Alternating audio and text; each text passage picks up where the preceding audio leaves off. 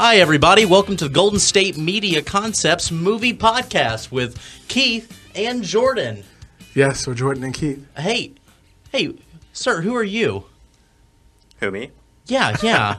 that guy with the third microphone and headset on. Who was that dude? Well, that could be anybody. I...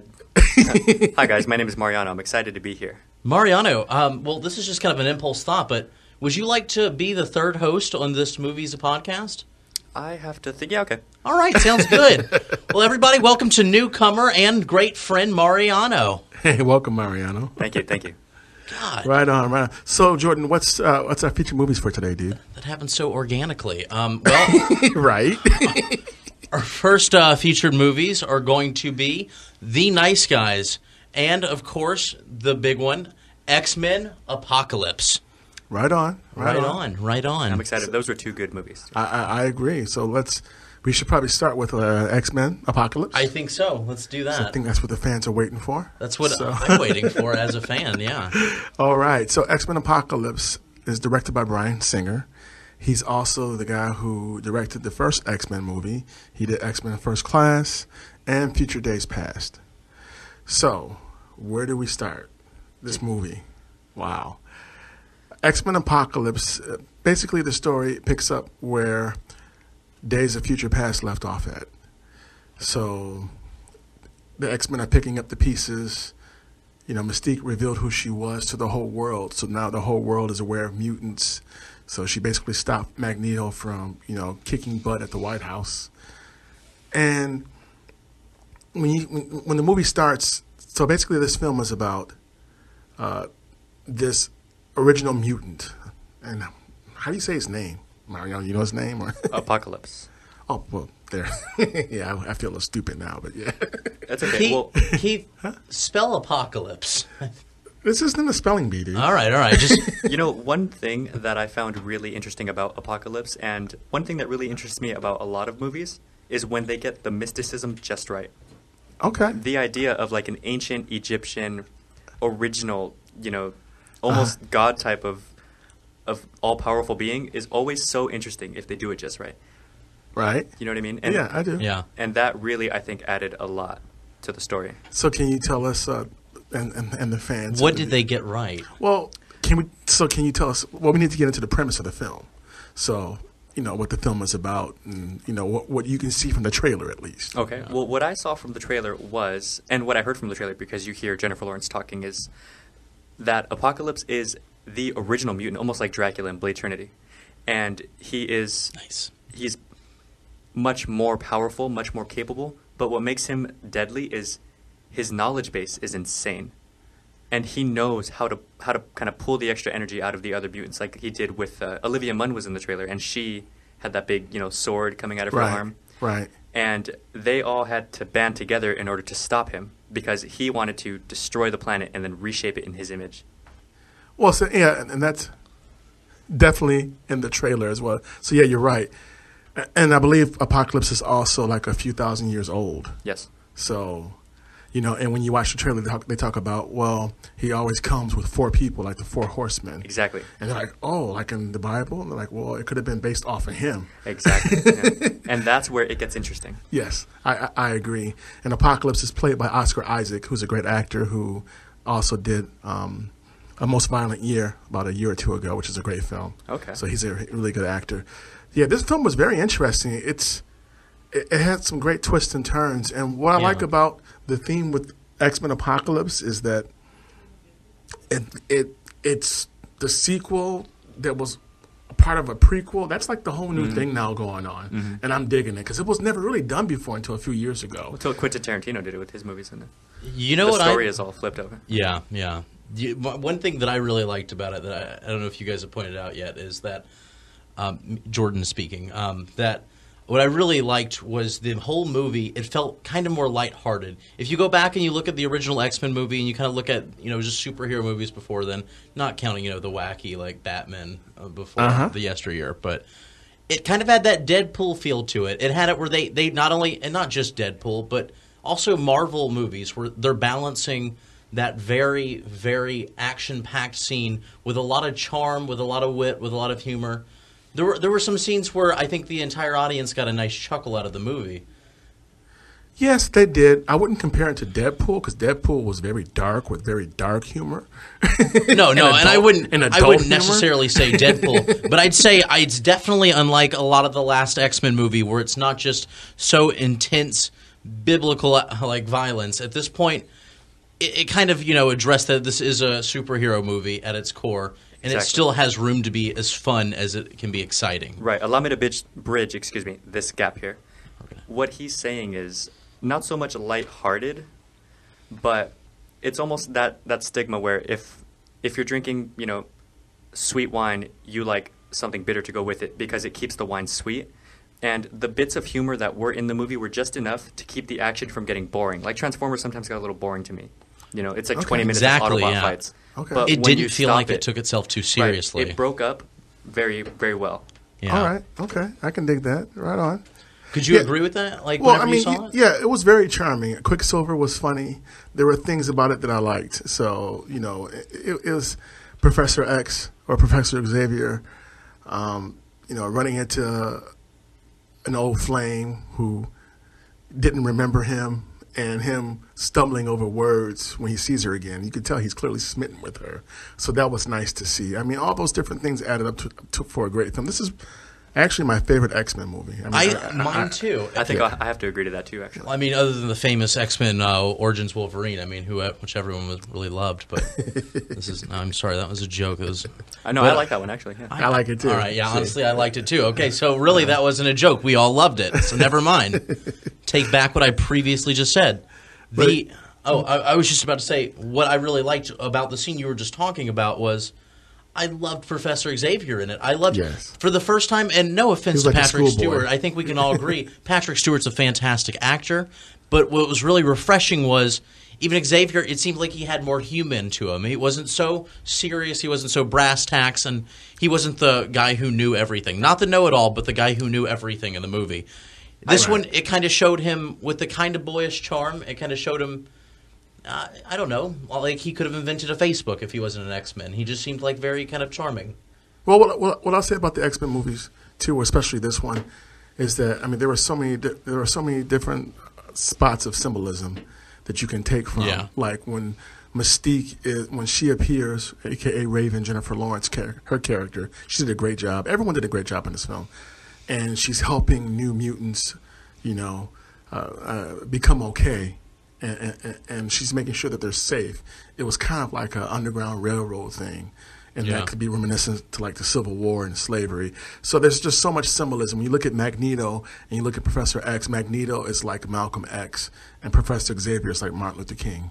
You know, and they're friends, and they're both so relevant, and they're both even more powerful when they're together. And when you when we first see Magneto in the movie, in this movie, Michael Fassbender playing him now, God, And- Michael Fassbender. when you see where he's at in his life and how his life changes, because I'm not going to give any of that away, it was so moving. It Right. was so moving. It was directed so well. I totally And- agree.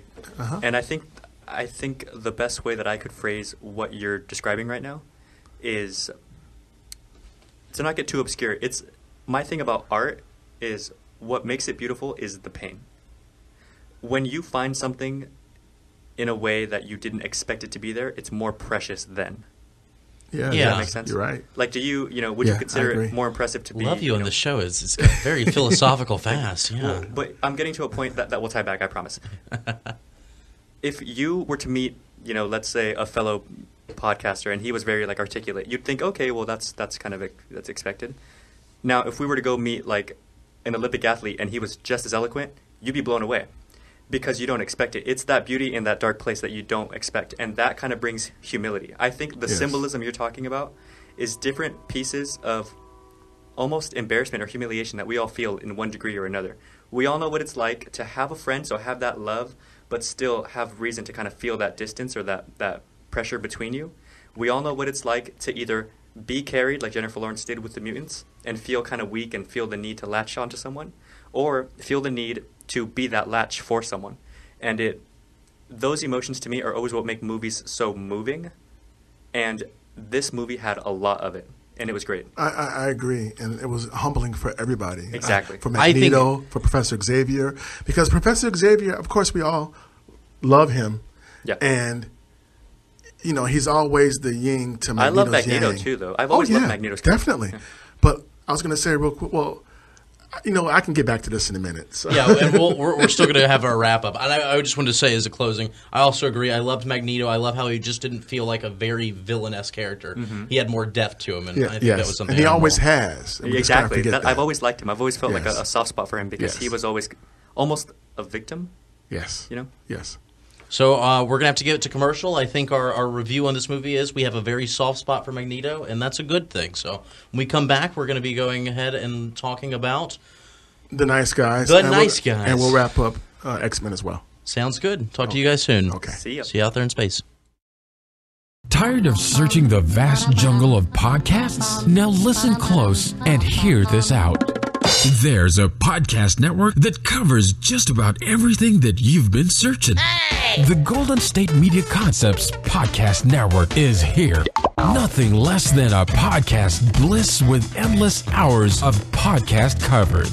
From news, sports, music, fashion, cooking, entertainment, fantasy, football, and so much more. So stop lurking around and go straight out to the Golden State Media Concepts Podcast Network. Guaranteed to fill that podcast itch. Whatever it may be, visit us at www.gsmcpodcast.com. Follow us on Facebook and Twitter, and download us on iTunes, SoundCloud, and Google Play.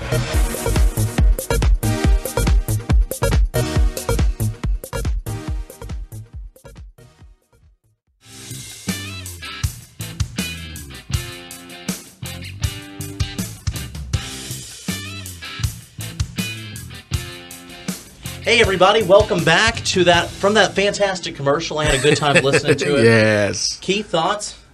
Oh, it was a beautiful commercial. Mariano?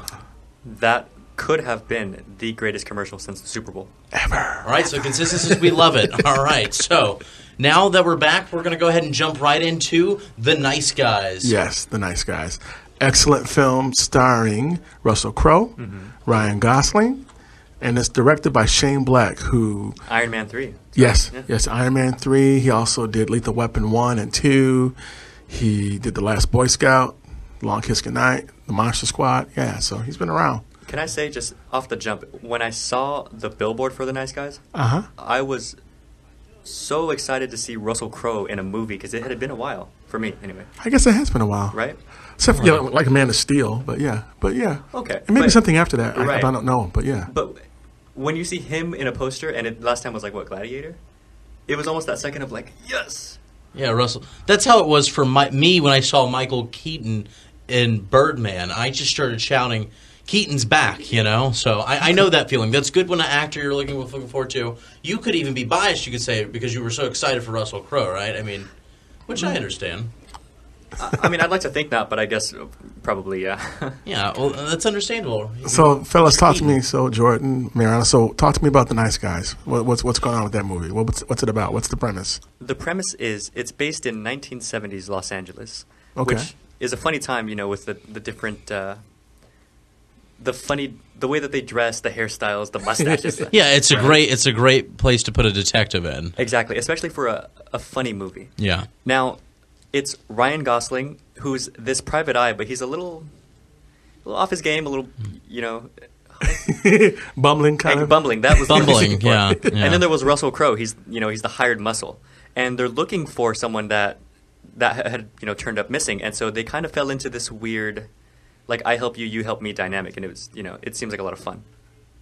So yeah, yeah, you- you're right. So it's like they don't start off being friends or buddies, and Right. how they meet is kind of humorous and violent. Which, whenever you know we say this, I mean, keep in mind, it sounds like a generic cop story that we're that we're describing, but it's it's definitely not. It doesn't feel like it doesn't feel like oh he's got to partner up with a monkey now, or you know him and the dog. It's, Not at all. It, I it, it does have an original feel to it, despite it sounding like a cliche. We're not doing that justice. It was.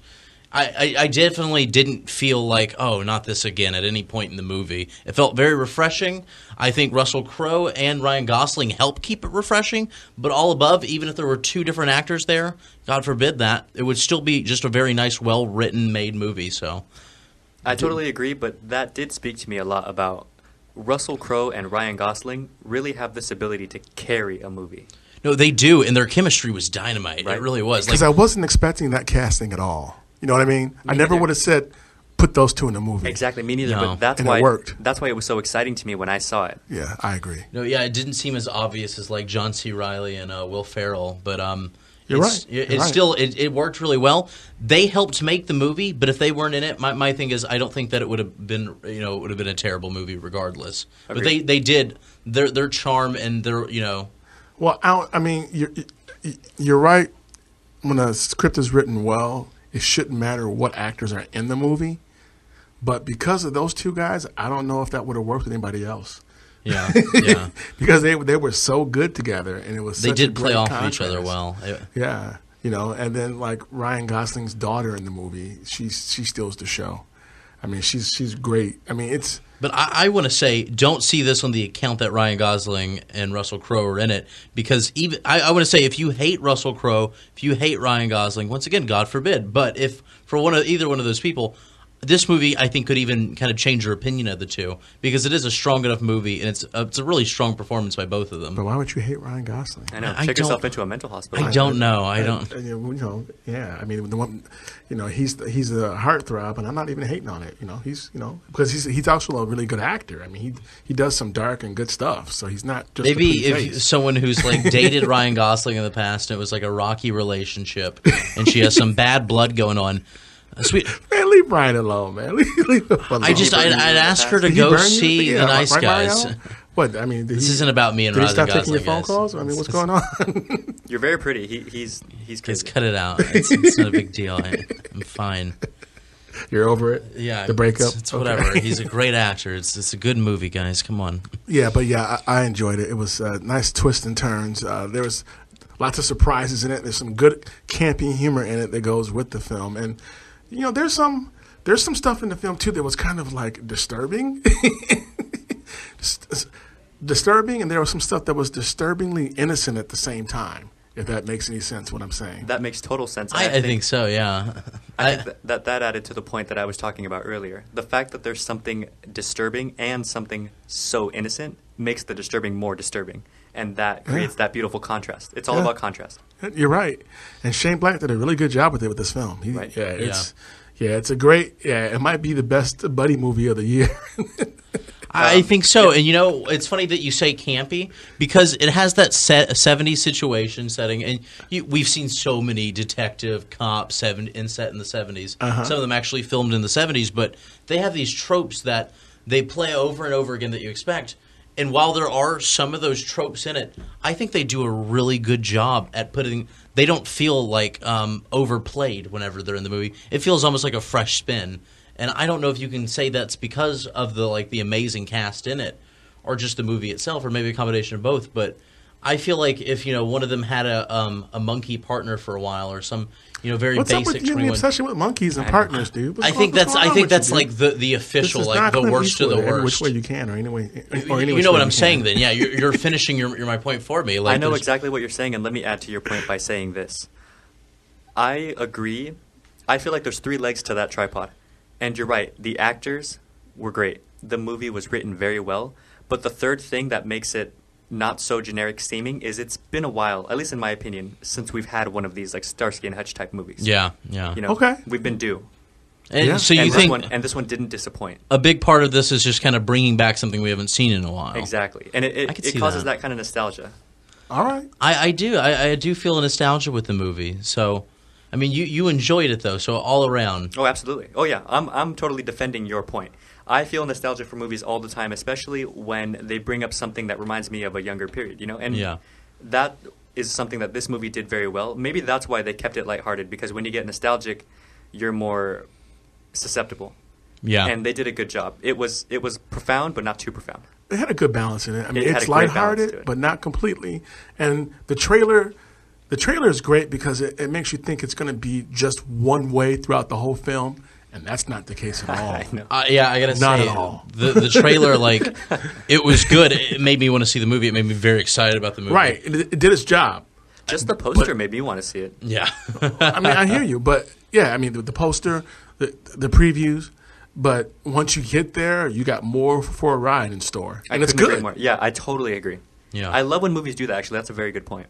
Yeah, definitely. So uh, the three of us definitely say that the Nice Guys is definitely something worth rewatching a Yeah, few go times. watch it for sure. Definitely, yeah. Get it while you can. It's a great film. I will be buying that one. Right. Definitely. They didn't finish last this time. Yes, exactly. oh, I like that. That's what's up. Okay. You liked it? I thought it was really lame. Oh, you're just hating, dude. You're a hater. I think You I know that. liked it too, but I think it was really lame. It wasn't lame, dude. I like that. That's okay.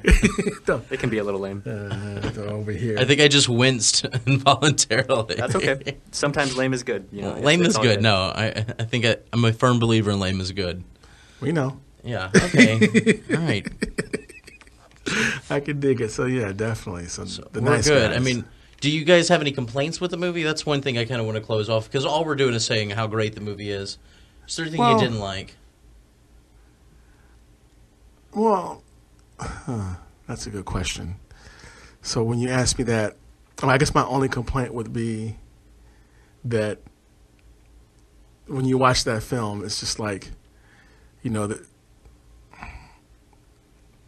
Hmm, how do I say this? So when you watch that film, I feel like some people could have been a lot smarter than what they were and what they were doing. So You're talking character wise? yeah, yes, but it all. I mean, but it all worked out. I mean, it, it it played itself out the way it was supposed to. It just there were some turns that I wasn't expecting that kind of threw me for a loop, but but I but I, I went and I rolled with it. But I guess it goes back to um the disturbingly innocent darkness that was a part of that film. So Yeah. Well, um, we we're having to uh, go to commercial break right now. When we come back, though, me and Mariana are going to see if we can come up with any complaints. We're also going to go ahead and do our wrap up with X Men Apocalypse and the Nice Guys. So we'll see you guys very soon. See ya.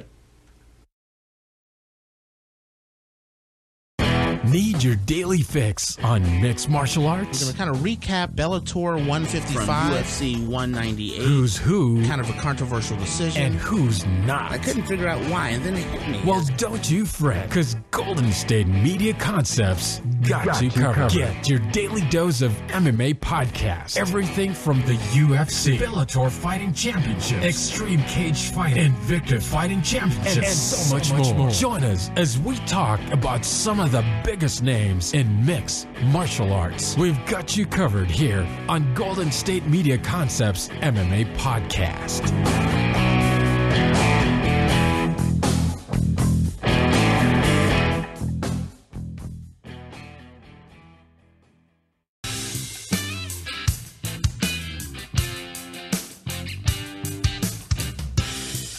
Hey, welcome back, everybody. Now, we know that our advertisements are awesome, so just try to listen in and bear with us, okay?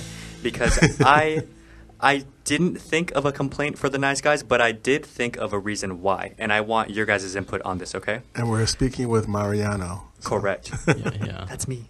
Now, the reason why I found it so hard to, to find something negative with the nice guys, I think, is because of what I said earlier. It's been so long since I've had one of these movies, I almost don't have much to base it off of. So it was just all around enjoyable. What do you guys think, though? Because I'm curious as to how you feel about that. Uh, yeah, after the break, I thought about it. I don't really have any complaints about it because even with the with the scenes that threw me for a loop, it all made sense. Still, it all it all added to the film. It all made it special Right. to me. Yeah. So, yeah, it was just it, it's it's a nice, nice breath breath of fresh air. What do you think, though, Jordan? Because you brought it up, so that makes me think that you've got something to say about it. Well, honestly, you know, I, I, it kind of ties in with what I'm going to ask about X Men. I'm going to ask the same Okay. thing. If you guys had any complaints with it, me, I think that uh, I enjoyed it a lot. I really did. I do. I do remember feeling like at, at some points where it was running on a bit to me. Like there was a couple slow parts to me. X Men? Uh, no, not X Men. Actually, I The nice guys. the nice guys. Okay. Which when I when I think of the movie in retrospect, I can't think of a single moment I had a complaint with the entire movie. I remember enjoying it throughout, but there I do also you know like remember checking the time like Mm. oh this the scene's kind of running a bit. But I, as I as I say that, whenever you kind of I look into a retrospective of the movie itself, Uh-huh. I I actually I, I don't remember feeling a drag in it, but whenever I was watching it firsthand, it did feel a bit draggish. I know what you mean, and I think that the reason that it felt that way, it felt fine at the time, but you thought about it later, was because that drag added to the scene. Yeah, you're and right. that, that kind of made it fun. Like Napoleon Dynamite, those scenes drag forever. But that But it's great. exactly, but it's great. Okay. great because that drag adds to like Two the out of overall three. it adds to the overall feeling of like just awkwardness of the whole movie, you know? Definitely. I think so. I think that you're exactly right. So, I mean, it, it was kind of something like planting a seed and then enjoying it later. Exactly. You got me wanting to watch it again now, nice guy. So Let's I can watch think it. Let's, about let's just turn this off and watch it. I know, right? Cutting it short, guys. But yeah, even though this is the summer of superhero films and science fiction, and we're excited about that this year, you know, definitely see the Nice Guys if you want a good comedy slash drama, uh, something that, to, to make you feel good and make you think, and to, you know, and to help you like even makes fun of itself to a, to a, to a degree. So all those things. So I definitely want to recommend seeing that film Okay. because yeah. it stands out because there's so many other films that aren't going to be like that film Exactly. this summer this year. I didn't think I'd say this, but I, I totally agree with everything you're saying right now, Keith. It's you're definitely right, and um, I, this kind of helps because we're, we're moving on. That's part of our wrap up. Now I'm going to ask you guys the same thing about X Men. Okay. Any complaints? Yes. You you have all right. Let's start with Mariano? Mariano, I guess. Was that quick on the draw? I liked it. I just feel like Jean Grey overacted a little bit sometimes, and so did Scott's. Their their actors, not the characters were fine, but they they overacted a little sometimes. To me, Really? yeah. So the characters themselves were great. The the actors, the Miss Sansa Stark. Right. I. It just makes me wonder, like, why why them? They did a great job, but it just it bothered me just the tiniest bit. You know, but since there's so little to complain about the rest of the movie, that's what really stood out to me. Okay, so there was just a few scenes of just kind of overreacting. Mm-hmm. What, what about you, Keith? I, mean, I didn't feel that way at all. I mean, I just I, I, I enjoyed it. I, I did. Okay. So it just it was just yeah. It, it, No I, I. I like that film more than I did Captain America: Civil War. It made up for that for me. Oh, I forgot you didn't like that. I like that movie. Yeah. So Yeah. yeah. it made up for it. Like I said, it's my favorite X Men film. So after watching that film in the theater, now now I'm very open to reading the X Men books. I've seen all the X Men movies. That one made me want to read the books now. So that's great. Yeah. So that, that really does speak miles about. Yeah, that really does. Yeah. Yeah, so I mean, I like the new cast. They're young and they're fresh, and it's it's a nice. It, yeah, they're- it's going to be great. I, I like it. I like that relationship between Magneto and Professor Xavier. Yeah. it's was so fun. it's so needed, and they're both so poignant in their beliefs, and there's a little bit of each other in each other and, and with their beliefs. Yep, I like that. I, I noticed exactly what you meant. And you see more of that in this one than in, in, in, in the past. I think. because they're younger and they're more Yeah. they're less guarded and you you know, you see it. Yes. And that's the thing that I was saying earlier. Uh, that goes into a couple things I was saying earlier. One thing is that I didn't feel like they demonized um, Magneto this time, and it felt like every every kind of um, portrayal of Magneto, it's just he's this just he's a jerk, and you can still see him doing kind of bad things in this one, but he still had this kind of humanity in him that Right. you don't really see in a lot of the other movies. I, I it didn't kind of- get that he was a jerk at all in this film. Not I didn't. No. I didn't think so. Well, he was doing things that you Completely could say justified. that uh, old Magneto could do. Older Magneto, you can see him doing those things. Yeah. But there was a bit more charm to it. There was a bit more you wanting to stay on his side. that You can kind almost of see understood his him. humanity I- slipping as things happen to him. and you Yeah. kind of sympathize. You symp- sympathize, sympathize with him as a result. I think. I wouldn't really call it charm, or I, I, I take issue with that. Uh, it just, but like you said, I sympathize with him, and I just, I just, I mean, I could, I could sympathize and empathize with who he was and what was going on with him in his life. Yeah. But I've always had a soft spot for Magneto because I could always kind of relate to him. Like I said too. earlier, you know, I think when the writers created the X Men, I think it was in the '60s. You know, they were thinking about what was going on in America with civil rights. You Mm-hmm. know, because it's just really interesting when you think of Professor Xavier and Magneto, and they're both leaders of the X Men, and their thoughts. Yeah. you know, their different viewpoints that occasionally overlap.